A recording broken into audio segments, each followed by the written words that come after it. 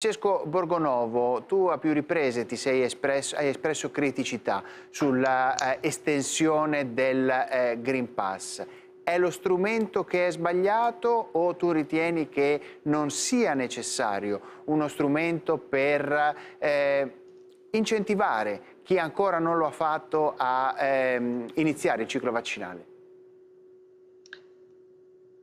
Io penso che sia sbagliato lo strumento perché non serve a quello che, che abbiamo sentito, cioè le, il vaccino serve a proteggere le persone che se lo fanno, eh, fortunatamente in Italia le, dire, le, fasce più a rischio della popolazione sono quasi completamente vaccinate, sappiamo che i giovani rischiano meno, quindi non si capisce per quale motivo si debba libertà, li, limitare la libertà di circolazione eh, delle persone, le quali possono anche eh, non aver fatto il vaccino per motivi che eh, sono non ideologici. Se uno si prenota oggi, un giovane si prenota oggi in Lombardia, la seconda dose la fa magari a novembre. Ora mi dite per quale motivo noi dobbiamo penalizzare, ad esempio, un ragazzino che non rischia la vita, che rischia veramente molto poco di, di finire in ospedale o di infettare altre persone, le quali possono essere contagiate anche dai vaccinati, come dimostrano i dati dell'Inghilterra, mi devono spiegare per quale motivo bisogna limitare la libertà delle persone. Tra l'altro bisogna limitarla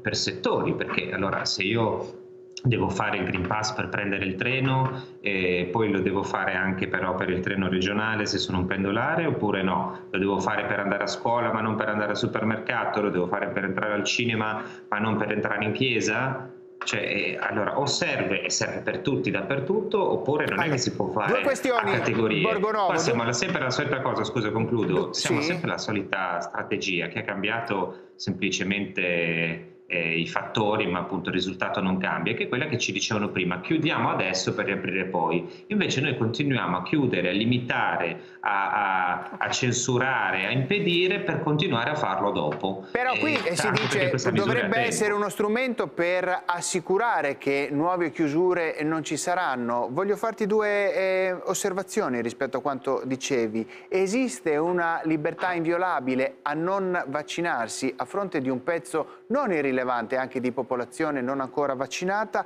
e poi per entrare nello specifico della proposta del Green Pass, il fatto che voglia essere, eh, lo si sta immaginando di introdurlo per step, per cui non eh, sarà necessario il completamento del ciclo vaccinale, almeno nella prima fase. Non sgombera il campo dalla esclusione a priori no. di chi ancora non si è vaccinato? No, faccio un esempio perché se uno prenota il vaccino in Lombardia oggi, il vaccino adesso salvo qualche posto disponibile nel breve termine, magari per, ma la maggioranza dei posti vengono, degli appuntamenti vengono dati alla fine di agosto.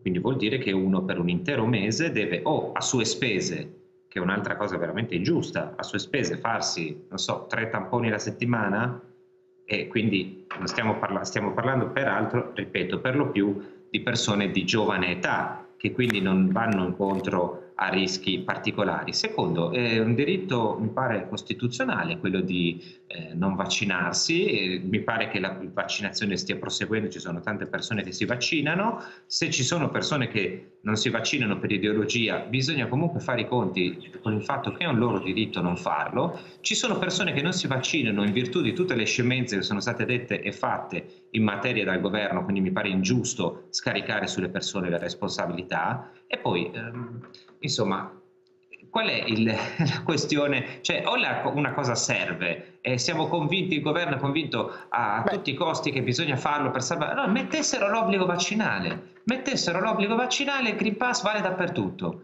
Punto, non eh, tu sì, tu no, perché se, si, allora. perché se i sindacati protestano, perché se Confindustria protesta. Questa tua... è una presa in giro, una allora. scelta politica per una cosa che non ha alcun fondamento La tua posizione scientifico. Mi sembra, Infatti siamo gli unici. Mi sembra chiara. Ho con eh, me due persone